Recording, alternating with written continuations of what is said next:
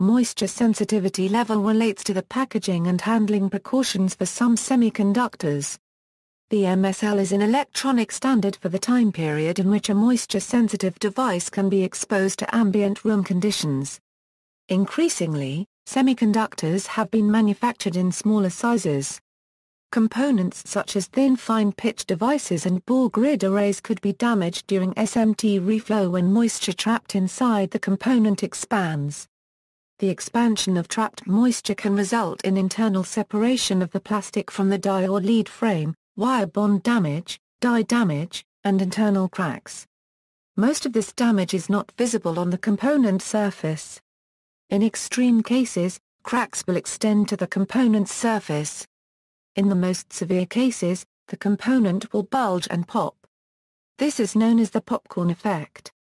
IPC created and released IPCM 109, Moisture Sensitive Components Standards and Guideline Manual. Moisture-sensitive devices are packaged in a moisture barrier anti-static bag with a desiccant and a moisture indicator card which is sealed.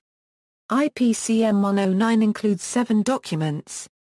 According to 1. Moisture Reflow Sensitivity Classification for Plastic Integrated Circuit SMDs, there are eight levels of moisture sensitivity. Components must be mounted and reflowed within the allowable period of time. MSL 6 a Euro mandatory bake before use, MSL 5 a a Euro 24 hours, MSL 5 a Euro 48 hours, MSL 4 a Euro 72 hours, MSL 3 a Euro 168 hours, MSL 2 a a Euro 4 weeks, MSL 2 a Euro 1 year. MSL 1 a Euro Unlimited,